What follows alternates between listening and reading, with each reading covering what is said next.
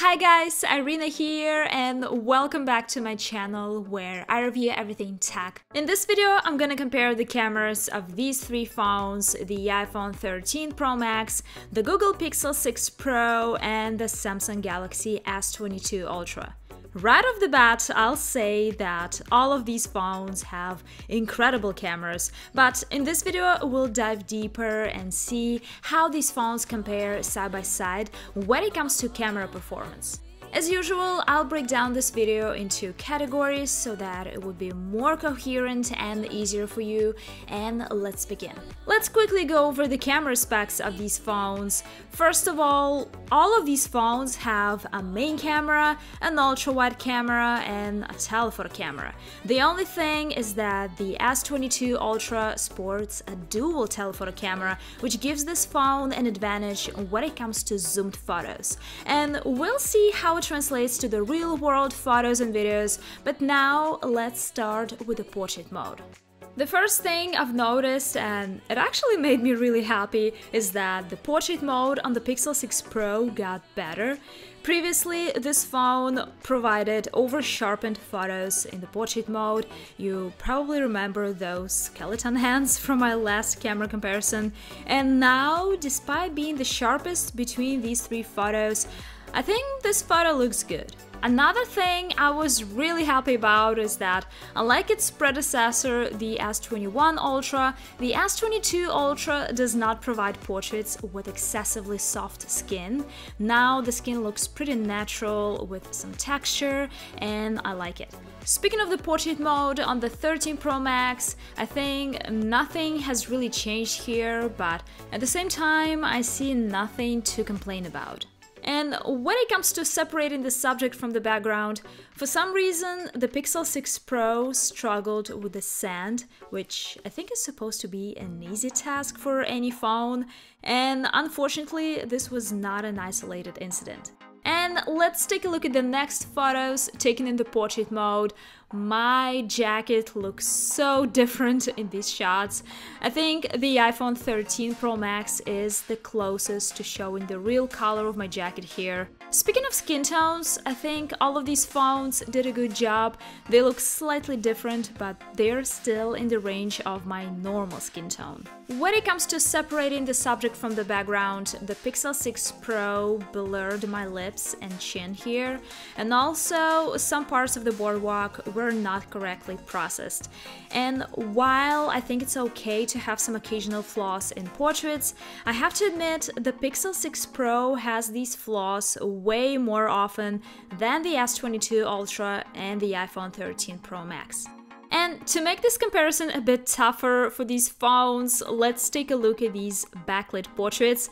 I think this is one of the worst lighting scenarios for any camera, but these days smartphones can handle it. And I think the S22 Ultra did the best job here. The photo from the Pixel 6 Pro looks good from afar, but if I zoom in, you will see it's not sharp at all. Also, it looks kind of pixelated, and I think you can see the situation with separating the subject from the background. It looks rough, but I have to admit, the background looks beautiful, and the Pixel 6 Pro did a good job properly exposing the subject as well as the background. And when it comes to the iPhone, I think this was supposed to be a beautiful, vibrant shot, but something went wrong and my face looks faded. Well, maybe it's not that bad? What do you think, guys? Yeah, portrait mode can still be tricky, even for expensive flagships. It's nothing compared to taking random daylight photos. And speaking of daylight photos, let's take a look at some samples and you can judge them for yourself.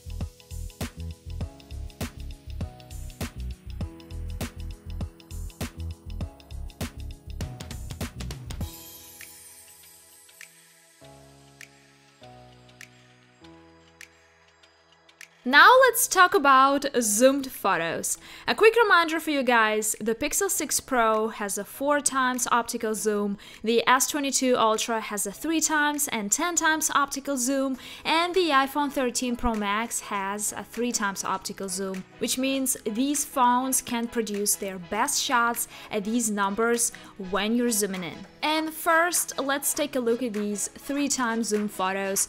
Unsurprisingly, the S22 Ultra and the 13 Pro Max produce sharper looking photos than the Pixel 6 Pro since they both use the optical zoom here, while the Pixel uses the digital zoom cropping the photo taken with its main camera. But let's take a look at 4 times zoom photos and this is where the Pixel 6 Pro shines, providing a more detailed shot since it's using its optical zoom here. But at the same time, if you don't zoom into the photos, most likely you would not even notice any difference in quality of these shots because they're all pretty good thanks to the telephoto cameras on these phones. Let's take a look at these 10 times zoom photos and here you can see the advantage of having a 10 times optical zoom on the S22 Ultra. Look how much more detail we can see in the photo from the S22 Ultra. When it comes to maximum zoom, it's 20 times for the Pixel 6 Pro, 15 times for the iPhone 13 Pro Max, and 100 times for the S22 Ultra and a few more samples for you guys.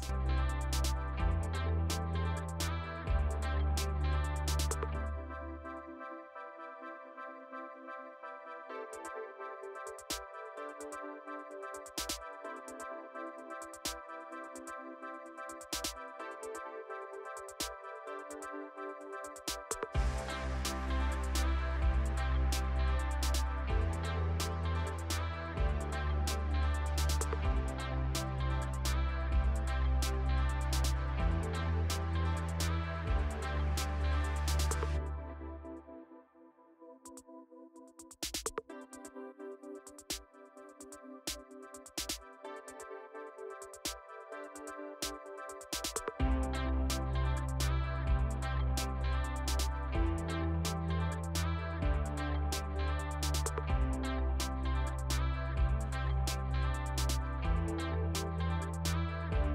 Next, let's take a look at some ultra-wide photos. The S22 Ultra and the iPhone 13 Pro Max have a slightly wider field of view of 120 degrees versus 114 degrees on the Pixel 6 Pro, which means you could fit more into the frame with the Galaxy and the iPhone. However, when it comes to the photos themselves, as you can see, all of these phones provide really sharp and beautiful shots. Yes, there are some differences in color temperatures and exposures, but eventually it comes down to your preferences, guys.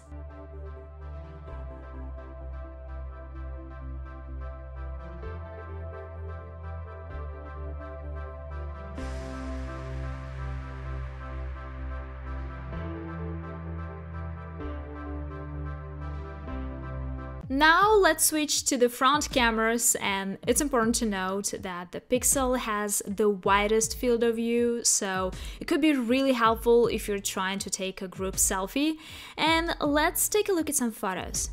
So yeah, the front camera on the Pixel 6 Pro has the widest field of view and here you could see how much more you could fit into the frame. The selfies from these phones always look slightly different in terms of overall colors and skin tones, but I would say all of these phones provide really nice selfies and it's hard for me to pick a winner here. And now let's test the mics. So this has been the sound from the Google Pixel 6 Pro. And now I'm switching to the Samsung Galaxy S22 Ultra. So this is the sound from the S22 Ultra. And finally, I'm switching to the iPhone 13 Pro Max. So this is the sound from the 13 Pro Max. What do you think, guys? When it comes to video stabilization on the front cameras, as you can see, it's just amazing on all of these phones, and it's actually hard to pick a winner. When it comes to taking selfie videos in low light, I was a bit disappointed that this thing with excessive noise hasn't been fixed yet, and it was not even that dark. If it was darker, it would look so much worse. The S22 Ultra also has some noise in the background, which frankly I'm not a fan of, and as you can see, the iPhone 13 Pro Max does the best job here. Let's talk about videos and start with the stabilization test.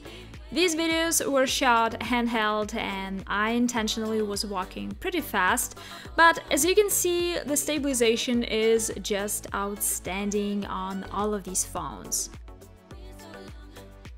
And switching to the ultra-wide cameras, as you can see here we have pretty much the same situation in terms of stabilization. It's just great on all of these phones. The only thing I've noticed is this red noise in the video from the Pixel 6 Pro. Not sure what happened here, maybe some kind of a glitch. You won't actually notice anything like that in the other ultra-wide videos that I'm gonna show you next, but I'm not trying to hide anything from you guys, so it is what it is. A few more daylight videos for you guys and you can judge them for yourself.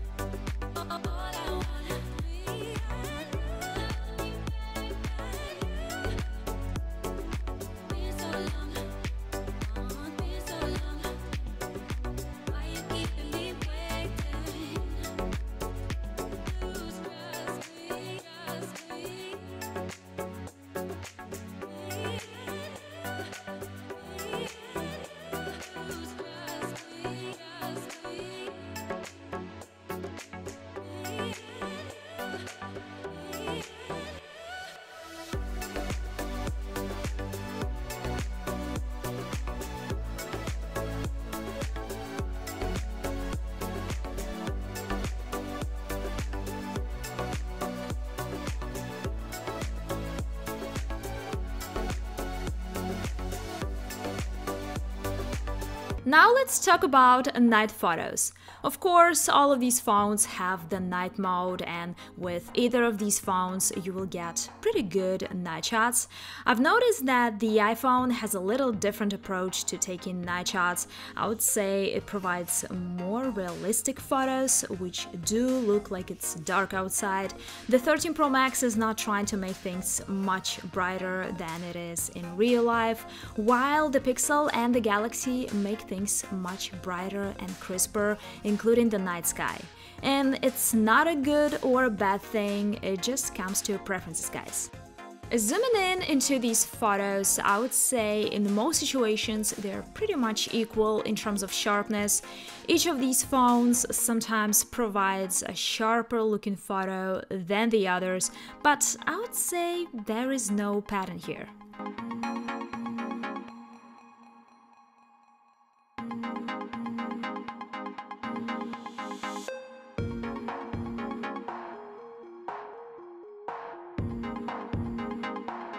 And a few night videos for you guys.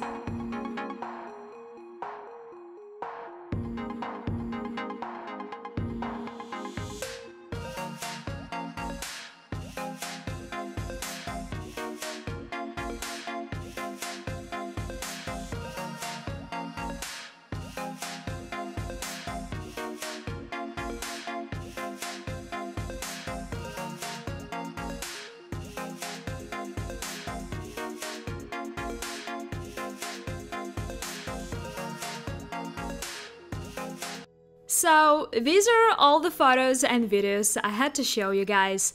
First of all, I want to take a moment and appreciate how good the phones have become these days when it comes to the camera performance. Sometimes it still blows my mind. I think by this point you probably already know which phone is the winner for you. But if you ask me, while I truly believe all of these phones are very capable and provide incredible photos and videos, I have to admit that the Google Pixel 6 Pro is less reliable at the moment. And you could see that when it comes to portraits, selfie videos in low light, ultra wide videos in low light, and just some occasional mishaps. Don't get me wrong, this phone is very capable and I've taken tons of incredible shots with this phone, but still, this is something you should keep in mind. That's all for this video guys, I hope this video was helpful for you. Thank you so much for watching and see you soon.